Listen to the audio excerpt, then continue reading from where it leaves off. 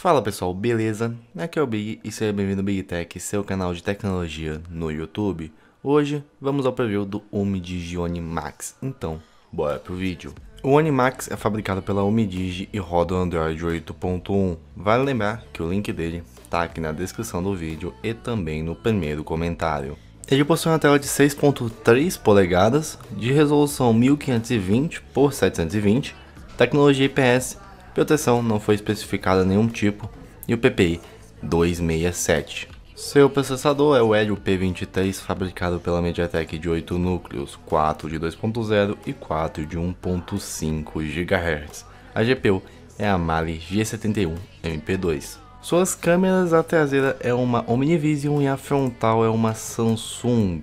Traseira possui 12 megapixels e uma auxiliar de 5, enquanto a frontal possui 16 megapixels. Vale lembrar que somente a traseira possui o flash e ela grava em 1080p a 30 fps. Ele possui 4 GB de RAM do tipo LPDDR4X numa frequência de 1600 MHz, memória interna 128 GB, expansível até 256. Na parte de conectividade, ele possui espaço para dois chips, ou um chip e um cartão SD, Bluetooth 4.1, NFC, Wi-Fi ABGN 2.4 e 5 GHz, possui GPS, AGPS GLONASS 4G que funciona no Brasil, e a entrada Type-C para carga e transferência de dados. Na parte de sensores nós temos proximidade, sensor de luz, acelerômetro, bússola, giroscópio e o biométrico. Sua bateria possui 4.150 mAh, fabricada pela Umidigi, uma entrada de energia de 5 V 2 A que vai até 12 V 1.5 A. Possui quick charger e a bateria não é removível. Seu design conta com botões virtuais, um corpo em alumínio e vidro alto-falante na parte de baixo, disponível nas cores preto, e Twin Light e um peso de 205 gramas. Seu valor está na casa dos 840 reais, com o link na descrição e também no primeiro comentário, mas vamos aos seus prós.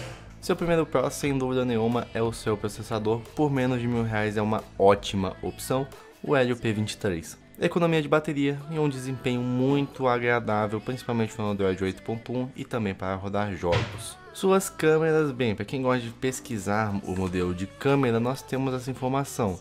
Omnivision OV12870 como câmera traseira e a frontal uma Samsung S5K3P3. É uma câmera já muito conhecida no meio de celulares chineses. Sua bateria possui 4150 mAh, é uma ótima bateria, visto que o processador é bem econômico, também você vai ter bateria o dia inteiro tranquilamente. NFC, para quem gosta da tecnologia, principalmente para mover grandes arquivos, você consegue fazer uma transferência muito rápida por NFC, muito superior ao Bluetooth.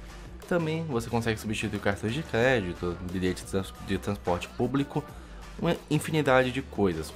Recomendo que você pesquise sobre essa tecnologia, provavelmente vai ser o que a gente vai usar no futuro.